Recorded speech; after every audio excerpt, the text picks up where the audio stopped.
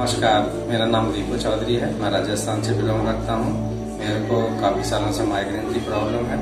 मैंने काफ़ी डॉक्टरों से इसका इलाज करवाया लेकिन जब तक मैं दवाई खाता रहता था तब तक मेरी ये समस्या जो है प्रॉब्लम जो है अच्छी होती रहती थी। लेकिन जैसे ही मैं उनका मेडिसिन बंद कर देता था मेरी फिर प्रॉब्लम शुरू हो जाती थी। तो मैंने यूट्यूब पे डॉक्टर अत्या जामा के बारे में सुना और उनसे मैं मिला। तो उन, उनसे मैंने जब दवाई ली उन्होंने अपना एक महीने के अंदर जो है मेरे को थोड़ा सा उनसे राहत मिली। तो अभी भी उनका जो है मेरा ये कोर्स चल रहा है और अभी मेरा कुछ दिनों से मेरे को रिकवर हो, हो रहा हो। तो मैं डॉक्टर अत्य जामा का शुक्रगुजार हूँ जो मेरे को इस प्रॉब्लम से उन्होंने निजात दिलाई है। तो उनका बहुत बहुत धन्यवाद।